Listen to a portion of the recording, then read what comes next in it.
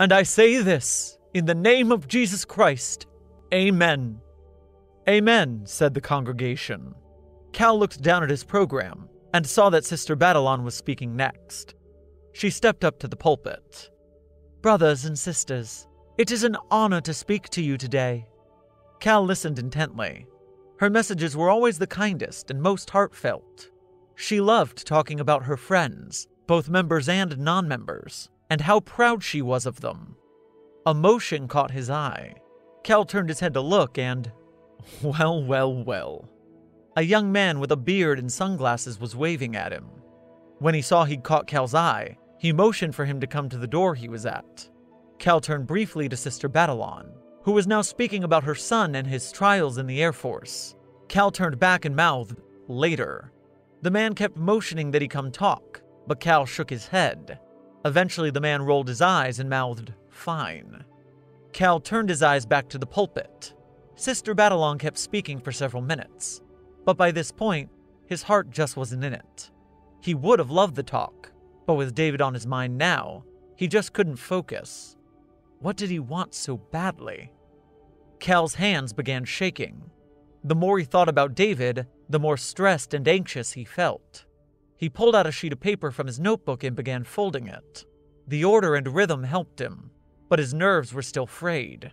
He started giggling quietly, not because anything was funny, but because of how absurd it all was. Eventually, the talk was over. Bishop Gale gave a brief message, followed by the ward singing the closing song, Battle Hymn of the Republic, one of Cal's favorites. Brother Taylor walked to the pulpit to give a closing prayer, and after it was over, Cal stood up and left the meeting room. He spotted David sitting on one of the couches and walked over. He tried to carry himself naturally, confidently, but he felt sick to his stomach, fear taking hold of him. Cal tried to keep himself calm. Whatever differences they had, David had made it clear that he and Cal were still brothers. Cal loved David, and David loved him back. But if David was here, something serious was going on. Cal stopped next to David, who turned to face him. I thought you weren't coming back, said Cal, a hint of curiosity in his voice. David smirked. Don't get your hopes up. I'm only here because it's important. Besides, he patted the upholstery. Say what you will about the church, they have the most comfortable couches. You couldn't even afford a couch, Davy? Cal sat down next to him. If David was making jokes, it couldn't be all that bad. He felt the tension inside of him release slightly. David scowled.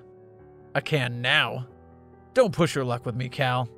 You're the only member of this family I tolerate, which is the only reason I'm here now. The knot of tension remanifested in Cal's stomach. Something big, said Cal, wringing his hands nervously. I got a job.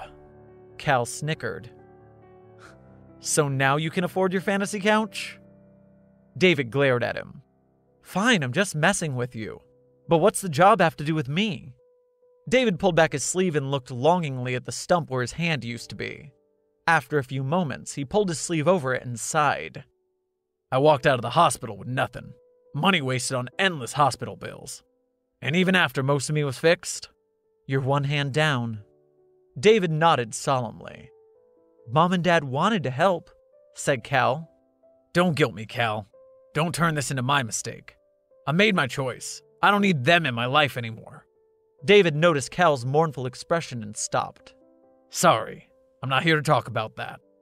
A brief silence passed between them. Now you have a job, said Cal. David sighed. Right. I got an email one day. Nothing much to it, but I was desperate, so I took the gamble and it paid off. What kind of job? I can't tell you that yet, but the guy who took me on, he asked about you. He'd seen how smart you were, what you'd done in school at the lab you work at, and was interested in you as well. Cal raised his eyebrows. What did you say? Considering the job, I told them it was out of the question. You'd never feel good doing something like that. But what is it? It's big, Cal, as in worldwide big. Bunch of crazy secret stuff. It's all for the greater good and whatnot, but you have your own standards. David chuckled. You never take up something like this. Then why are you trying to persuade me to? asked Cal. You know my standards. You know how I feel about things, even if you don't agree. But while you're saying I won't want any part in this, you're also trying to convince me to join you. What's the point? David sighed. Sister Babylon's talk. You were listening? She had some interesting stories. But she was talking about her son. He's killed people, Cal, and you know it. Do you think that makes him any worse of a person? Would you be willing to tell his mother that he's evil? Because he's doing it for the right reasons. He's not a warmonger. Exactly. But I say he kills a guy, no context. It always sounds bad. David popped his knuckles, a habit which he and Cal shared. You sometimes hear things, stuff that people do, and you think that it's wrong just at a glance. People say the same thing about you, what you believe, right? Cal nodded. But are you saying this will conflict with my faith? My standards? No, Cal, because you're a man of faith. Not just in God, but in people. That's why I'm here. Because you trust me. You have faith in me. For a few moments they sat in silence. By this point, the rest of the ward was in their meetings or lessons. The only disturbance to Cal's thoughts was a man carrying a baby down the hall, softly singing to her as she slept.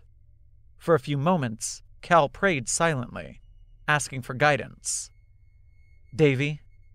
Yeah? You can't tell me anything else about this, right? No. Cal put his hand on his brother's arm. I need you to be honest with me. You know me. You know where I stand. If I took this offer, would I regret it? David sighed. If I told you exactly what goes on there, you wouldn't go for it. But if you saw it for yourself, if you knew what you were doing, you wouldn't regret it. Promise? Promise. Cal nodded. Tell them I'm interested. David nodded and stood up. Before he could leave, Cal said to him, Davy. He turned around. Yeah? Cal hesitated. He wanted to say something, to make it better. David was right there, about to leave. Now was his last chance for who knew how long. Nothing, sorry, said Cal. Here's to hoping I get the job. David smiled. I hope so. He walked out the door.